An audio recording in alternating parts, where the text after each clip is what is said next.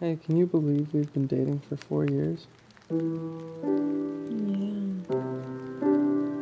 Yeah, I know, it's weird. Because, like, it feels like it hasn't been that long, but at the same time, I really don't remember, like, much else before that. And you know, everything that's happened between us in the last few years, like that doesn't just Sometimes I, I really miss her. Like, even though she's in the same room or I just saw her, I.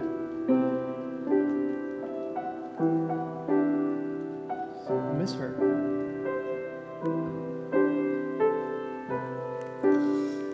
That I miss her.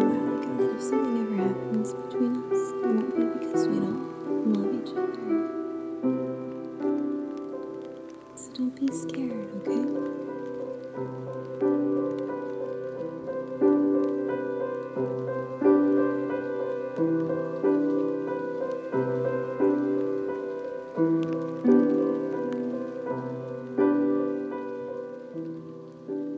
we breaking up?